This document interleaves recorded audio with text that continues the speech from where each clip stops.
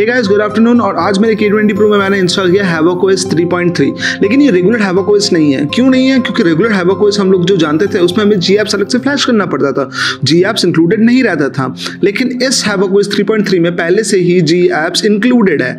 और चलिए हम लोग देख लेते हैं कि इसके अबाउट सेटिंग्स में जाके कि इसमें डिटेल्स क्या क्या है। तो हम लोग देख सकते हैं, ये एक एंड्रॉइड टेन बेस्ड रॉम है, जिसमें Havoc वर्जन लिखा है 3.3 जो सिक्योरिटी पैच है, वो हमें मिलता है फिफ्थ मार्च टू का। और तो और जो कर्नल है, वो इमेंसिटी कर्नल है। तो ये पूरा सब कुछ about the phone about phones है। लेकिन अब हम लोगों को दो चीज़ समझना होगा कि ये जो ओपन जी एप्स इंक्लूडेड होता है और जो जी एप्स को एक्सक्लूडेड मतलब पहले जो था ओपन जी एप्स एक्सक्लूडेड था तो इन दोनों में बेसिक डिफरेंस क्या होता है?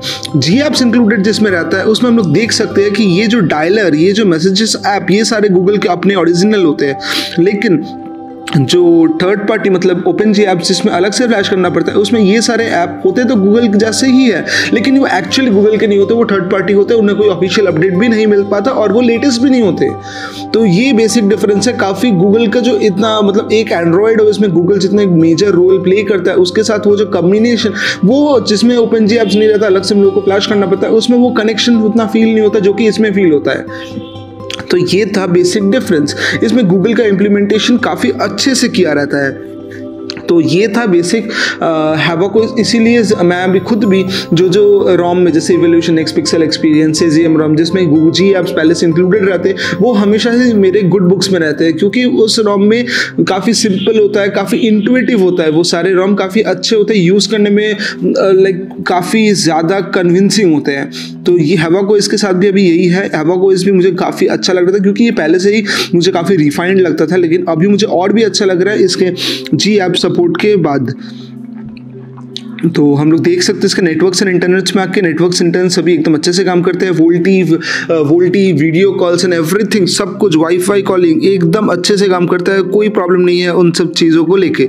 अब हम लोग आ जाते हैं इसके साउंड मतलब कनेक्टिविटी सेक्शन में। तो ब्लूटूथ हम लोग देख सकते हैं ब्लूटूथ एकदम अच्छे से काम करता है। फिर कन्फिगरेशन सेंटर में अगर आ जाए तो कन्फिगरेशन सेंटर पे नॉर्मल हैवा को इसमें जितने सारे कन्फिगरेशन में रहते हैं मतलब कस्टमाइज कितने सारे हम लोग ऑप्शन में कर सकते हैं। उतने तो अवेलेबल नहीं है इस रॉम में क्योंकि अभी अभी ये न्यूली है को इसका ऐसा वर्जन आ रहा है जी एप्स को इंक्लूडेड तो इसमें काफ़ी मिनिमलिस्टिक है, जितना प्रैक्टिकली जितना हम लोग को फीचर यूज़ करना है यूज़ करने में लगता है एक ओएस को, उतना ही बस दिया गया है। काफ़ी आउट ऑफ़ द वर्ल्ड कोई कस्टमाइजेशन ऑप्शन नहीं दिया गया, जो कि पिछले जो जी एप्स को एक्सक्लूड करके जो ओएस था, उसमें जितने सारे कस्टमाइजेशन हमें मिलते थे, उतने नहीं हैं अभी।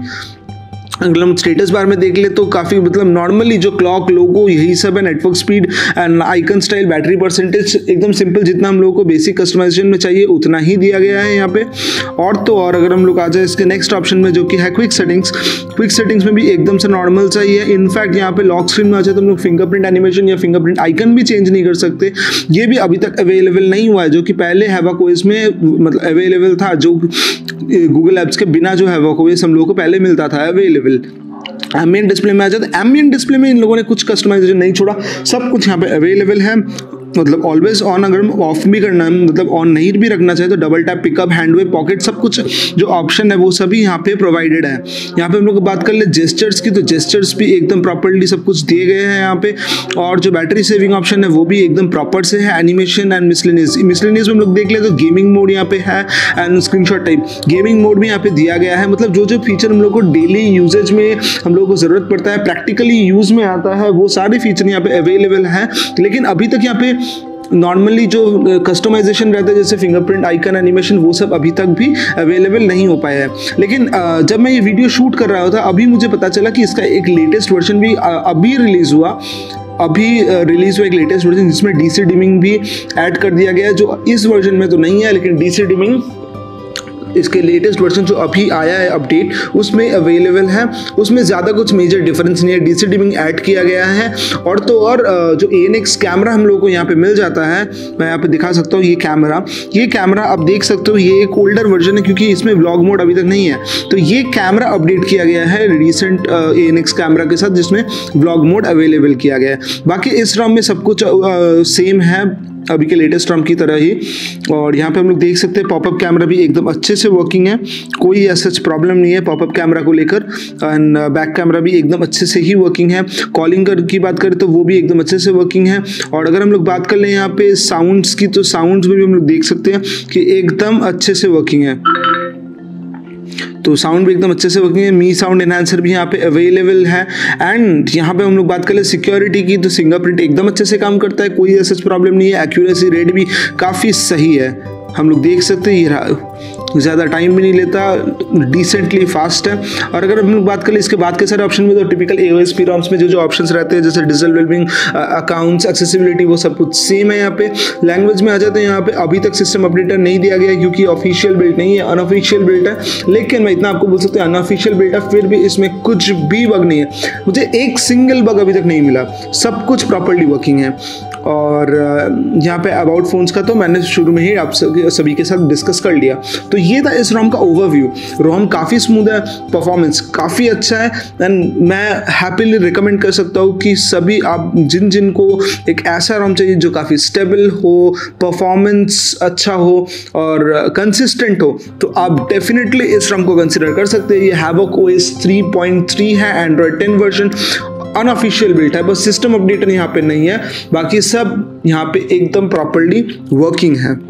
तो चलिए हम लोग हम लोग देख लेते हैं कि इस रॉम को इंस्टॉल कैसे करें। तो इंस्टॉल करने के लिए हमें क्या करना पड़ेगा? वॉल्यूम अप बटन को और लॉक बटन को एक साथ प्रेस करना पड़ेगा और हमें जो है कस्टम रिकवरी मोड में अपने फ़ोन को बूट करना पड़ेगा। तो ये रहा अभी हमें दो जिप फ़ाइल ज़रूरत पड़ेंगे, जो कि हैवॉक ओएस का ओएस का जिप फ़ाइल एक्चुअली दो नहीं, एक ही मैं सॉरी मैं गलती से बोल दिया। ये जी एप्स इंक्लूडेड वर्जन है तो बस हमें एक ही फ़ाइल को फ्लैश करना पड़ेगा। वो है हैवॉक ओएस 3.3 का जो जिप फ़ाइल है। अभी हम लोग को क्या करना पड़ेगा? पहले हम लोग को वाइप कर देना पड़ेगा डेलवी कैश सिस्टम डेटा ये चारों को हमें वाइप करना पड़ेगा। वाइप करने के बाद हमें बस ये हैवॉक ओएस 3.3 इसे फ्लैश कर देना पड़ेगा।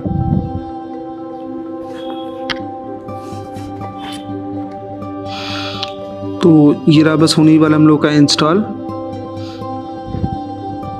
ये इंस्टॉल होने के बाद हमें क्या करना पड़ेगा? हमें ओपन जी एप्स के जो फ़ाइल है, उसे जिप फ़ाइल है, उसे हम लोग को फ्लैश कर देना पड़ेगा।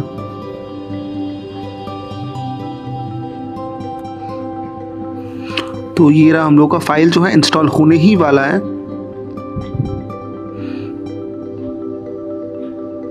और ये रहा सक्सेसफुली हो चुका है इंस्टॉल अभी हम लोग को कुछ नहीं करना just direct reboot to the system कर देना है।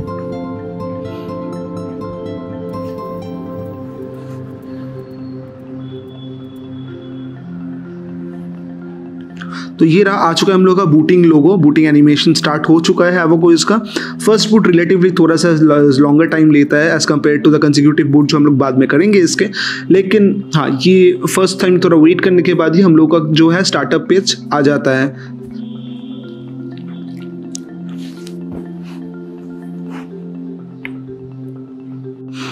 तो ये रहा, हो चुका है हम लोगों का स्टार्ट स्टार्ट करने के बाद हमें नॉर्मली सिम सिलेक्ट करने पड़ते हैं। एंड ये सारे नॉर्मल बेसिक एंड्रॉयड फॉर्मेलिटीज़ जो होते हैं, वो सभी हम लोग फिलअप करने पड़ते हैं एंड्रॉयड स्टार्ट करने के लिए। और एक बार फॉर्मेलिटी पूरे कर देने के बाद हम लोगों का ये जो ओएस है, वो सक्सेसफुली यूजेज के लिए रेडी हो जाता है। तो यही था इस ओएस का रिव्यू एंड इंस्टॉलेशन प्रोसेस अगर ये वीडियो आपको अच्छा लगा है, पसंद आया तो please do like share and subscribe और मिलते हैं आप सभी को ऐसे ही एक इंटरेस्टिंग कंटेंट के साथ नेक्स्ट वीडियो